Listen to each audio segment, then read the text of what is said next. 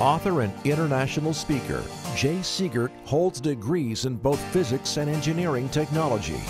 As founder of the Starting Point Project, Jay passionately seeks to help people establish a biblical worldview based on the authority of Scripture. For more than 30 years, he has been graciously tackling tough questions regarding the Christian faith, especially in the often intimidating world of science bringing it down to a level that everyone can understand. We trust you will enjoy this presentation as Jay delivers a fascinating talk entitled Inspiration of the Bible.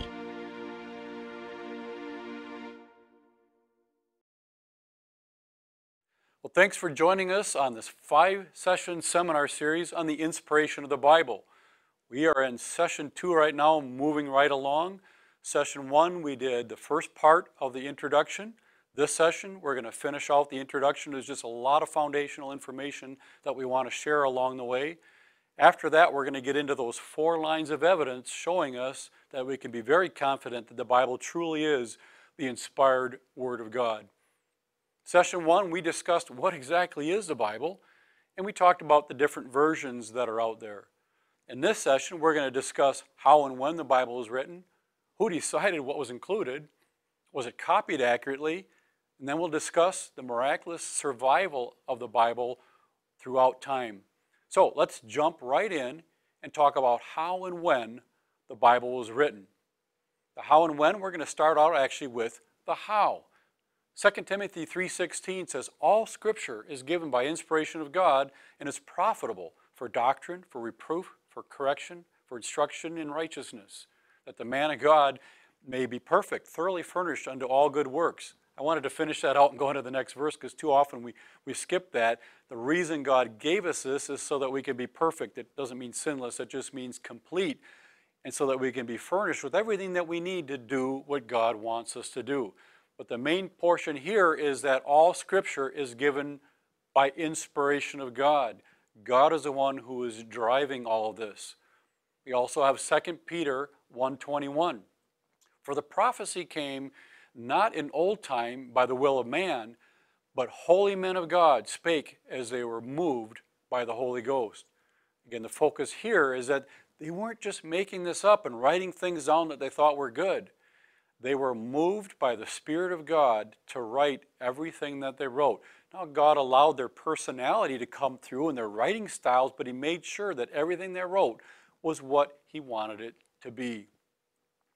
And they wrote on various materials. They certainly didn't write on college lined paper or iPads and tablets like that. This is what they wrote on. They wrote on stone and clay tablets, wood, leather, papyrus, vellum, wax tablets. These materials don't last forever. That's one of the reasons why it had to be copied over and over, and we'll be getting into those details in the second part of this introductory session here. So when was it written? Good question. The Old Testament was penned roughly 1500 to 400 BC, and the New Testament was written roughly about 40 to 100 AD. So you can plot that there on your timeline. This is, this is when the writers were actually writing these things down. All right, so who decided what was included? This is another really hot topic and a question that Christians need to have a good response for because skeptics ask this question. It's a very natural question for them to be wondering about. So that leads us to talk about the canonization. It's just a big word meaning the collection of books that are there, the 66 books that we discussed 39 in the Old Testament, 27 in the New Testament. The long answer to this question is go read a book. And I'm not saying that sarcastically. I mean, it's a long answer in that it would take a lot of research. There are volumes and volumes written on this information. And it's kind of interesting, but it's probably more than we need for this series. But if you're interested in that topic, there's a lot covering the details of that, and we don't need to do that. We're going to focus mostly on the short answer, but I'll give you a few highlights before we get to the short answer. The Old Testament, the Torah, the first five books of the Bible, the Pentateuch that Moses wrote, were established early in Jewish history, the rest as they were written ending in roughly 400 to 450 BC. The Council of Jamnia in 90 AD officially recognized the 39 books that we have today for the Old Testament. That's just when they officially recognized it. It's not that they became inspired at that point. It's just the first time that they sat down and said, okay, this is what we're recognizing as being part of the Old Testament. The New Testament. We have Athanasius of Alexandria provided us with the first official list in 367 AD. Again, it's just the first time they had an official list. It wasn't that the writings weren't inspired until then, it's just that at that point they were actually officially writing it down. Now, there were five tests of canonicity to the writings for the New Testament, just meaning as they were discussing what they believed were inspired, they had five tests. At that time, there was a lot of persecution going on. They wanted to make sure that they weren't dying over some book that people didn't really even consider inspired. So they kind of wanted to sit down and make sure they were all on the same page as to which books were inspired and which weren't. One of those tests was was the book authoritative? Secondly, was it prophetic? Meaning, was it based on the testimony of an apostle? Thirdly, was it consistent with other revelation of truth? Fourth, did it demonstrate God's life changing power? And lastly, was it accepted and used by believers? Now, these tests you may notice are kind of subjective. Like, well, was it accepted and used by other believers? Well, did you have to have 90% acceptance? 98, 99? You know, what was the cutoff? It is a little subjective. Did it come with life changing power? Well, how do you really judge that? Yes, these tests do seem kind of subjective, which leads us to discussing the short answer. The short answer as to which books were included is this it was supernatural and logical. So think about this it would make no sense for God to create this entire universe, put human beings on this planet, communicate with them, have them write some things down, and then later, as they went to collect them, they're making a mess of things, and God's like, oh my word, hey, you guys, you forgot about this one. This is one of my best ones, and you didn't even get that one. And what are you doing with that one? That one's kind of a joke. Why would you include that? Ah, now it's all messed up. That wouldn't make any sense that God would allow that to happen. It makes a lot more sense that God would supernaturally, just as He guided the original writers, He would guide these men to make sure that they got the books collected that were the ones that were inspired by Him. So it's just very logical that God would supernaturally do this. Now, he used humans to do that, so yes, they had their councils, they had their tests and all that, but above and beyond all that was God supernaturally working their lives to make sure that what we have today is what he originally inspired in those writers. Bruce Metzger, American Bible scholar, has a very interesting quote. He said, You have to understand that the canon was not the result of a series of contests involving church politics. You see, the canon is a list of authoritative books more than it is an authoritative list of books. I'm going to repeat that because it's so important.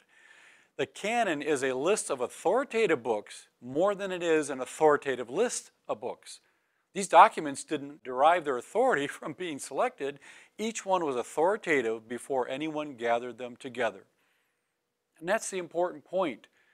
They were inspired as these writers were penning them to begin with.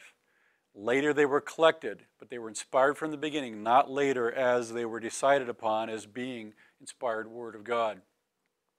But what about the Apocrypha? Some of you are wondering, yeah, what about the Apocrypha?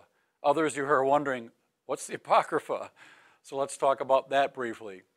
The Apocrypha is a collection of about 14 books written between the close of the Old Testament and the opening of the New Testament. Again, roughly about 400 BC to around 40 AD. And here are the books. We have Ecclesiasticus, Wisdom, 1st and 2nd Maccabees, and so on. 14 books written between the Old and the New Testament. The word Apocrypha actually means hidden.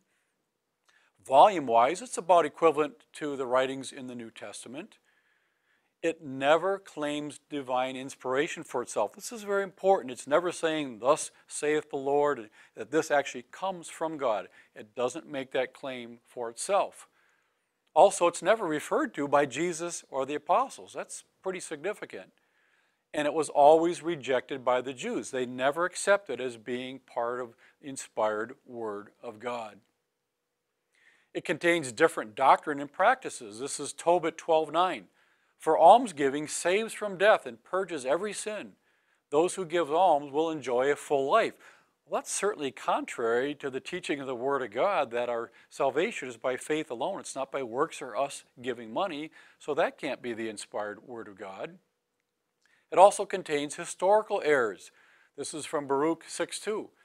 And when you are come into Babylon, you shall be there many years, and for a long time, even to seven generations. And after that, I will bring you away from thence with peace. While we know the Israelites were not in Babylon for seven generations, they were there for 70 years. That's what we learn in Jeremiah 25 11. So here's a historical error, error in the apocryphal writings. And there's nothing new in here that's adding to God's truth other than some contradictions. There's no new truth that we need from the Apocrypha. And there's no objective evidence for its divine authority, not like the rest of Scripture where it makes claims that can actually be tested and showing evidence of supernatural inspiration. It's interesting as the Roman Catholic Council of Trent in 14, uh, 1546 approved them as inspired by God, except for 1st and 2nd Esdras and the prayer of Manasseh. It's also interesting is that's right when Martin Luther was making some complaints saying, hey, you guys, a lot of what you're teaching is not in Scripture. So then the Catholic Church and councils conveniently decided to adopt the Apocrypha into the inspired Word of God because the Apocrypha does support some of their teachings. But I think that was their motivation there was when Luther was saying, no, this stuff is not scriptural. And he made a, a big stink about it in a sense, and it kind of changed religious history there. Now, even with all those legitimate concerns, it's still, the Apocrypha does contain some useful historical commentary between the end of the Old Testament and the beginning of the New. It tells us a lot about what was going on with different nations, so we can at least learn some things from it, even though it isn't the inspired Word of God. Was the Bible copied accurately? Another great question. Well, they certainly didn't have Xerox machines back then to just crank out these copies. So how was it copied? Well, the skeptics will talk about the telephone game, and you may have heard this claim. You may have played this game before where one person whispers something to someone else, and they in turn whisper that to the next person, the next, all the way on down the line, around the circle. By the time it gets to the end, it's completely distorted. For example, the person might say, My elbow is starting to hurt a bit. And by the time it gets to the end, it might turn out to be Milo just ate a Hershey's Kiss. Kind of a funny game to play. But this is seriously what the skeptics will claim.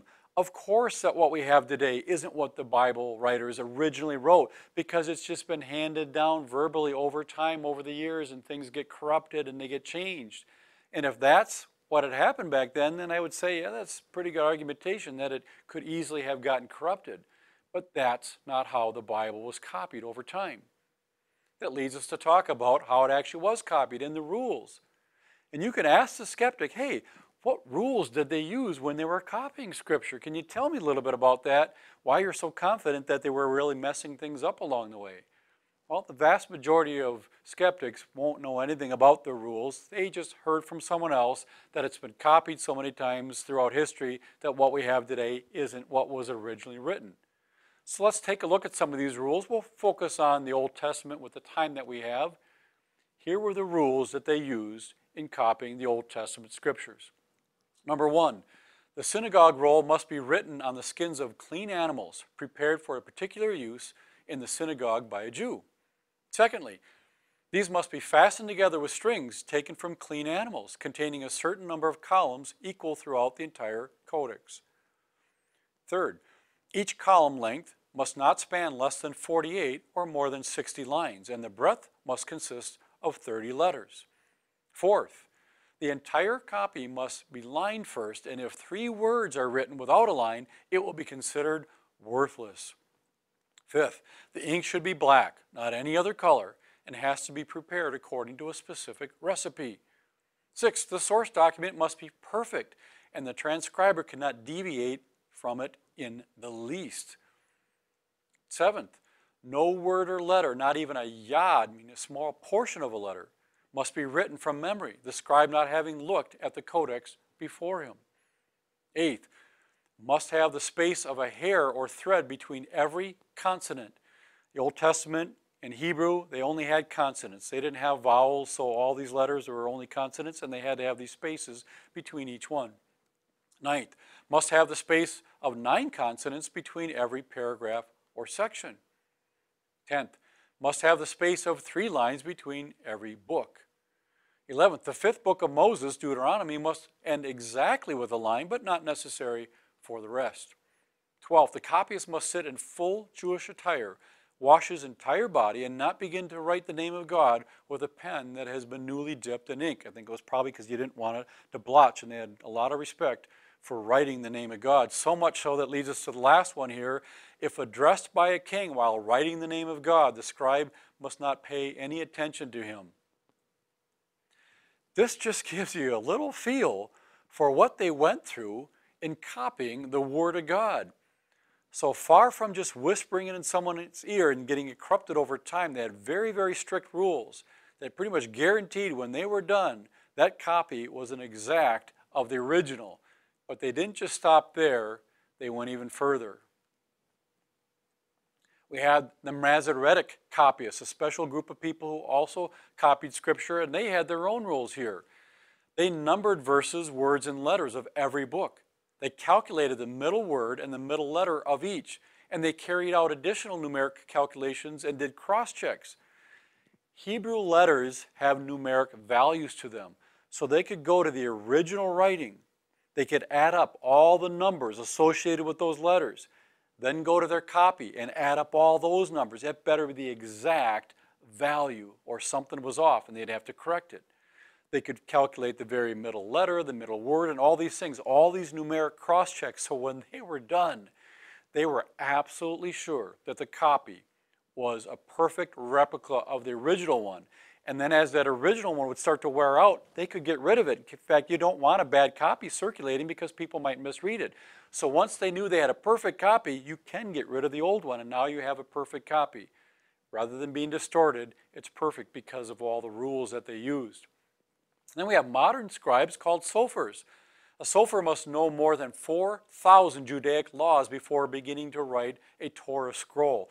That's pretty serious because that's how serious they take working with and handling the Word of God. Then we have the Dead Sea Scrolls. This has been called the greatest manuscript find of all time. I'm sure you've heard of the Dead Sea Scrolls. You might not know that much about them. They were discovered in the Qumran caves in Israel. Three shepherd boys were tending their sheep and they were throwing rocks up into the caves. And when they did, they heard shattering of like clay pots.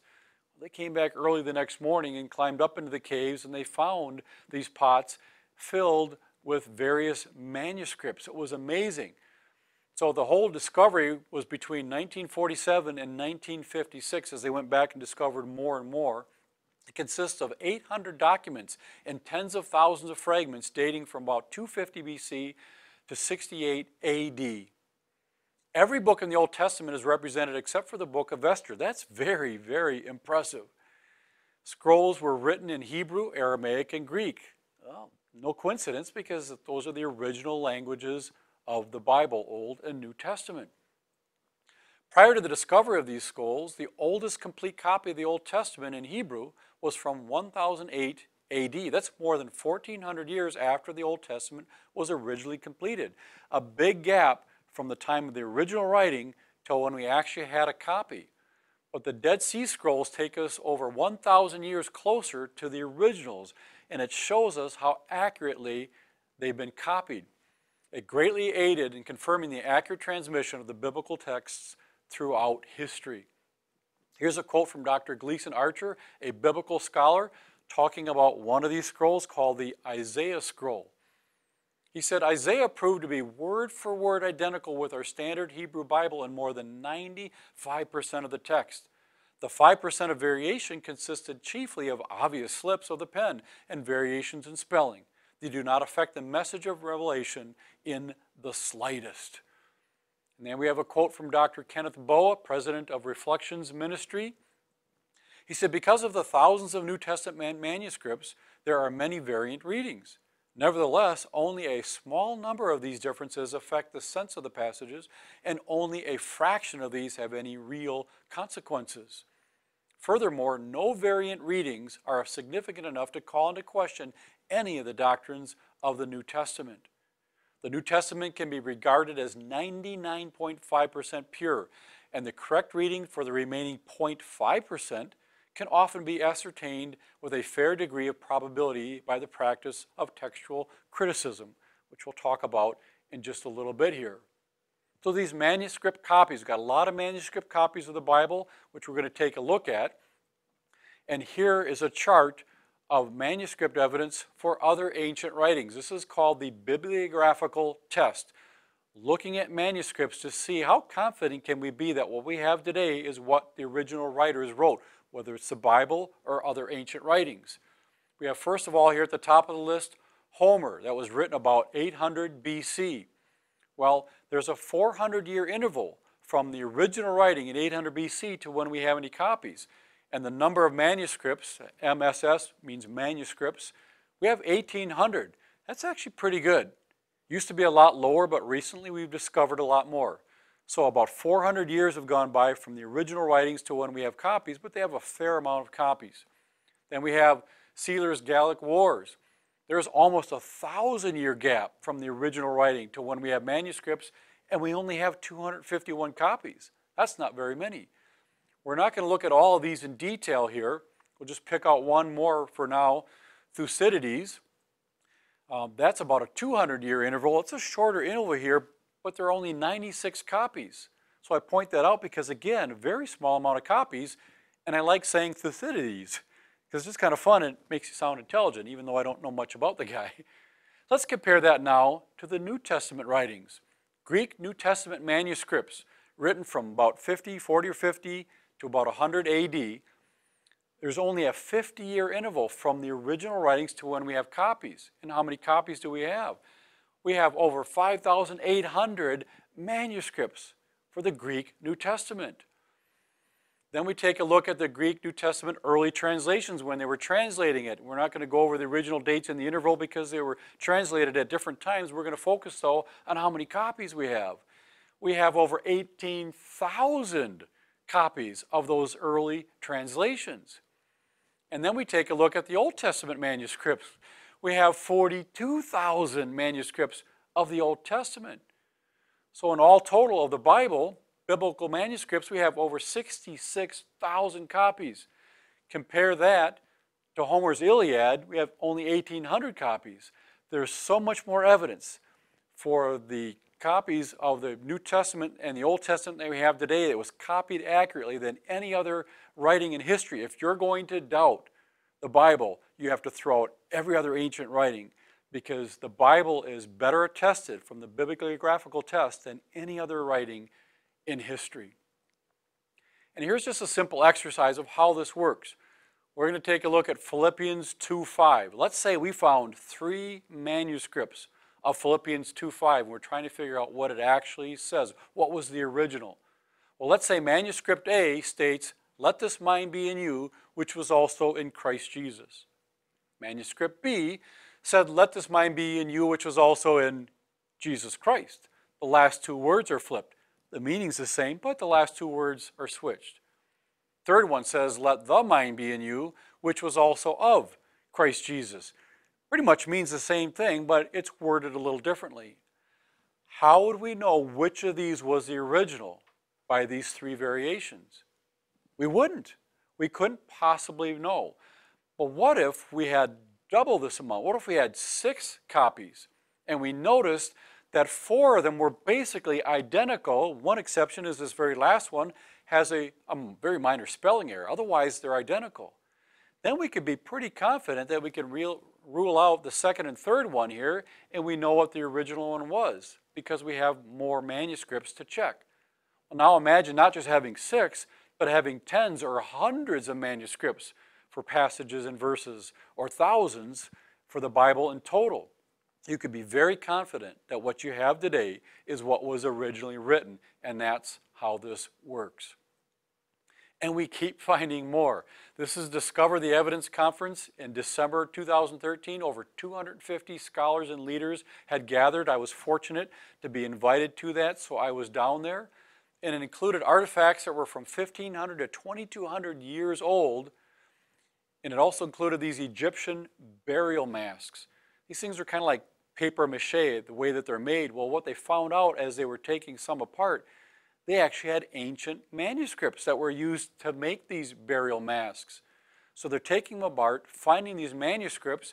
There were 200 biblical and classical fragments discovered. This is just at the conference we did. They had found a lot more prior to the conference, but at the conference itself, they uncovered another 200 biblical and classical fragments, which included six passages from the New Testament and one from the Old Testament further confirming that what we have today is accurate. And again, they just keep finding more and more of these types of evidences. Here's an interesting point. Even if every Bible today were destroyed, we could reconstruct the entire New Testament with the exception of just 11 verses solely by using quotations from early church fathers within the first few hundred years after Christ. That's amazing. Destroy all the Bibles, there's still enough people that have quoted it early on that we could reconstruct in almost the entire New Testament. It's pretty amazing how God's Word has been preserved. Oh, yeah, but you see, these monks got together and they corrupted it purposely to kind of have their own religion and make it say what they wanted it to say. Let's take a look at that a little bit further. Is that plausible at all? This is virtually impossible to purposely corrupt and here's why. Think about it. First of all, you'd have to change all the existing Greek and Hebrew manuscripts. Thousands and thousands of those. These are not Word documents that you can go in and change the typing and do a save as. No, these are Greek and Hebrew manuscripts written in ink to change that without everyone noting, noticing and then get it back, and again, without being caught.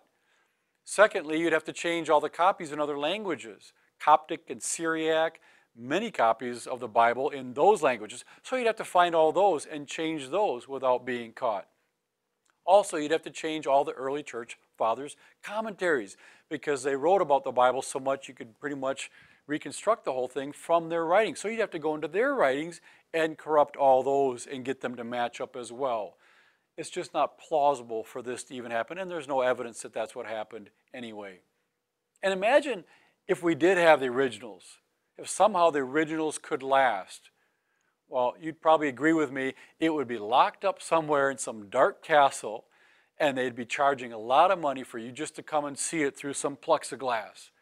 And they would probably also claim that only the originals are the true Word of God. Anything else out there is just a fraud. Well, how would the world learn the truth of Scripture if it's locked up in a castle somewhere? And no one else could really read it. And whatever you do have, they say, well, that one doesn't count. It doesn't have the actual power of God, but if you want to come here and see it, you'll get a special blessing from God, but you're going to have to pay a lot of money. I'm sure that's exactly what would happen is if, if we had the original copies here. God's pretty sharp, and he knew it would be much better to make thousands and thousands of copies to be spread around the world for all to share, enjoy, and benefit from. We will end the introductory part here talking about the miraculous survival of the Bible, how it's survived throughout history. It's been stated that the Bible is an anvil that has worn out many a hammer. Many attempts have been made to destroy God's Word and wipe it off the face of the earth, but it's hung around. It's survived just like God has promised. We have Antiochus Epiphanes. He was Greek king of the Seleucid Empire from 175 to 164 BC. It was stated that if there were any sacred book of the law found, it was destroyed, and those Jews with whom they were found miserably perished also. You did not want to be caught with a copy of the Word of God back then because they would not only take it away and destroy it, but you would be killed for that. So it's amazing that the Bible survived that time in history. Then we have Diocletian, Roman Empire, 284 to 305 AD. Royal edicts were published everywhere, commanding that the church, churches be leveled to the ground and the scriptures be destroyed by fire. Again, caught with a Bible, it's destroyed. They're destroying churches and all that. A vicious attack on God's word to wipe it from the face of the earth. Two years after issuing this edict, he stated, I have completely exterminated the Christian writings from the face of the earth. Well, not quite. It not only survived, but it thrived.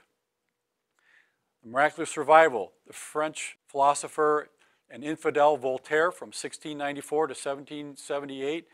He said, 100 years from my day, there will not be a Bible in the earth except one that is looked upon by an antiquarian curiosity seeker. He made that claim. Well, you know what? He's gone. And the Bible is still around uh, better than ever. Now, this is one of my favorite myths. Here's how the myth goes. Within 50 years of Voltaire's death, the Geneva Bible Society used his house and his printing presses to produce thousands of Bibles, specifically French New Testaments. I heard that years ago and I thought, that's awesome. He said the Bible is going away, but his name would live on in infamy. He's gone, and they used his own house and his presses to produce more Bibles. That'd be a great story. Apparently, it's not actually true. I did some more research on it, and it's just kind of a nice fable. I, wish it was true, but apparently it's not, but it, it is one of my favorite myths. that leads us to talking about the Dark Ages and beyond, what was going on, attacks on God's Word during this period of time. Bible reading and translations were banned during the Dark Ages and beyond. 1215, Pope Innocent III issued a law that they shall be seized for trial and penalties who engage in the translation of the sacred volumes, or who hold secret meetings, or who assume the office of preaching without the authority of their superiors, against whom process shall be commenced without any permission or appeal. You couldn't read God's word, you couldn't preach on it without special permission. 1215 again, furthermore, he declared that as by the old law the beast touching the holy mount was to be stoned to death, so simple and uneducated men were not to touch the Bible or venture to preach its doctrines. So you weren't supposed to touch the Bible and you weren't allowed to preach on it because you're, you're too simple. You didn't know better. You had to rely on the magisterium to tell you what God's word actually meant. 1546, Council of Trent placed translations of the Bible on its list of prohibited books and forbade any person to read the Bible without a license from a Catholic bishop or inquisitor. You needed a license to be reading and preaching this thing. Again, they really controlled the whole thing uh, first, they tried to destroy things, and now they're just trying to control it, that they are the ones that you have to look to to find out this truth because you're not going to be able to figure that out on your own. These prohibitions were added to the index of prohibited books and were continually reaffirmed by popes right up through the 19th century. And then we have John Wycliffe. He's considered the father of the English Bible. He was persecuted greatly by the Catholic Church, so much so that 43 years after his death, the Roman Catholic Church dug up his bones, burned them, and threw them, his ashes into the river Swift. It's how much they hated this guy for translating the Bible in common English so that the common person could read that. They're like, no, no, no, we will read it and we will teach it in Latin or whatever. Again, kind of a control thing here. They didn't like the fact that he was making it accessible to the common person. Then we have William Tyndale. He's a brilliant translator, knew seven languages. He said, Christ desires his mysteries to be published abroad as widely as possible. I would that the Gospels and the epistles of Paul were translated into all languages of all Christian people and that they might uh, be read and known. I defy the Pope and all his laws. If God spare my life ere many years, I will cause a boy who drives a plow to know more of the Scriptures than you do. That was pretty bold of him to say that, and you can imagine that didn't go over very well. The commissioners of the Holy Roman Empire convicted him of heresy, and in August 1536, he was burned at the stake.